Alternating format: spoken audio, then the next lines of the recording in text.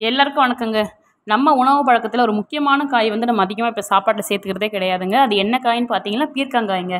பீர்க்கங்காய் வந்துட்டு யாரும் அவ்வளோ விரும்பி சமைக்கிறது கிடையாது. இது என்னென்னா இந்த காயில் வந்து நிறைய சத்துக்கள் இருக்குங்க. அது மட்டும் இல்லாமல் இதோட தோற்றம் மேலே வந்து ரஃப்பாக இருக்கும். தோல் அதனால் வந்துட்டு அது யாரும் தோல் சீவிட்டு அதுக்கப்புறம் நம்ம அதை சமைக்கணுமா அப்படிங்கிற மாதிரி யாரும் அது இன்ட்ரெஸ்ட்டாக சமைக்கிறது கிடையாது. ஆனால் எங்கள் வீட்டில் எல்லோரும் இதை விரும்பி சாப்பிடுவாங்க பாருங்கள் நம்ம குடும்பம் எதை விரும்புதோ அதை நம்ம வந்து சலிக்காமல் செய்யணுங்க. அதுதான் நம்மளுடைய கடமை. அதுவும் என்னோட கடமையாக நினைப்பேன். வீட்டில் என்ன லைக் பண்ணுறாங்களோ அதை வந்து நான் நல்லா சமைச்சு தரணும்னு நினைப்பாங்க. நம்ம சமைக்கிறத அவங்க விரும்பி சாப்பிடணும். அதை நம்ம பார்த்து ரசிக்கணும். அது எனக்கு ரொம்ப பிடிக்குங்க. அந்த மாதிரி நான் வந்து இன்றைக்கி சமைக்க ஆரம்பிச்சாச்சு. பீர்க்கங்காய் வந்துட்டு தோல் சீவிட்டு நான் நறுக்கி வச்சாச்சு. நறுக்கி வச்சுட்டு அந்த தோலை தனியாக வச்சுட்டேன். இதோட கடலைப்பருப்பு தோரம்பருப்பு சிறுபருப்பு எல்லாம் சேர்த்து சும்மா ரெண்டு விசில் வச்சுங்க குக்கரில் போட்டு ரொம்ப நல்லாவே இருந்துச்சு. இதோட தக்காளி வெங்காயம் இஞ்சி பூண்டு இருந்தால் கிராம்பு ஸோ பட்டை லவங்கம் சேர்த்துக்கலாங்க. சேர்த்துட்டு இது சேர்க்கலனாலும் பிரச்சனை கிடையாது. போட்டுட்டு நம்ம சிம்பிளாக செய்கிறது தான் ஆனால் ரொம்ப நல்லா இருக்குங்க. இந்த காய் வந்து எப்படி வச்சாலுமே டேஸ்ட்டு கொடுக்கும். இந்த தோலையே நம்ம வீணாக்கக்கூடாதுங்க இந்த தோல் வந்து துவையில் இருக்க ஆரம்பிச்சிட்டேன். இந்த துவையில் வீட்டில் நீங்கள் அரைக்கிற சட்னி எல்லாத்துக்கும் வந்து கருப்பு உளுந்து சேர்த்துக்கோங்க.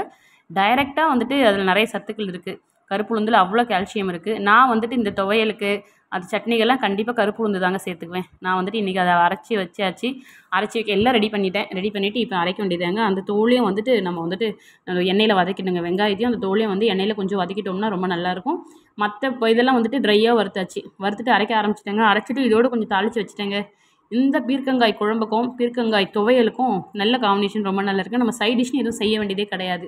இதை வச்சு கொடுத்தாலே எல்லோரும் சாப்பிடுவாங்க. இதை வந்து சப்பாத்தி இட்லி தோசை சாப்பாடுன்னு எல்லாத்துக்கும் கொஞ்சம் சாப்பிட்லாங்க.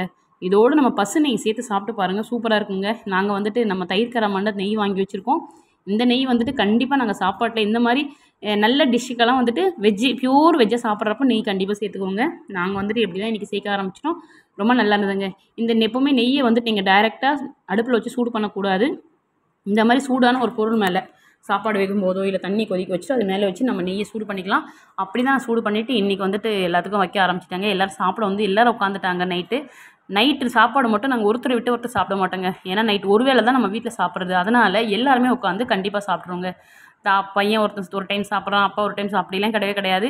எல்லாரும் சாப்பிட்ற டைம் மட்டும் ஒன்றா அசம்பிள் ஆகிடுவோங்க இந்த half an hour forty five minutes வந்துட்டு எல்லோரும் உட்காந்து ரசித்து ஒருத்தர் ஒருத்தர் கமெண்ட் பண்ணி சிரித்து விளையாடி சாப்பிடும் பாருங்கள் ரொம்ப நல்லாயிருக்கும் நாங்கள் அப்படி தான் இன்றைக்கி சாப்பிட உட்காந்தாச்சு. அதோட சாப்பாட்டுக்கு அந்த துவையல் அந்த குழம்பு ப்ளஸ் நெய் நெய் சேர்த்து சாப்பிட ரொம்ப சூப்பராக இருந்துச்சுங்க. எல்லோரும் பிள்ளைங்களாம் ரொம்ப விரும்பி சாப்பிட ஆரம்பிச்சிட்டாங்க. அவங்க சாப்பிட்றதாங்க நமக்கு சந்தோஷம். பிள்ளைங்கள்லாம் சாப்பிட ஆரம்பிச்சிச்சு. நான் வந்து துவையிலே சாப்பிட ஆரம்பிச்சிட்டேன். நெய் கொஞ்சம் போட்டுட்டு அந்த பீர்க்கங்காய் தோல் துவையிலே வந்து நான் வச்சு சாப்பிட்டுட்டேன். ரொம்ப நல்லாவே இருந்துச்சுங்க. நீங்களும் இந்த மாதிரி ட்ரை பண்ணி பாருங்கள் சந்தோஷமாக சாப்பிடுங்க. உடம்பு ஆரோக்கியமாக பார்த்துக்கோங்க. நிறைய சத்துக்கள் இருக்குது பீர்க்கங்காயில். அதனால் வந்துட்டு அதை நீங்கள் தவறாமல் கண்டிப்பாக சேர்த்துக்கோங்க. ரொம்ப நல்லதுங்க.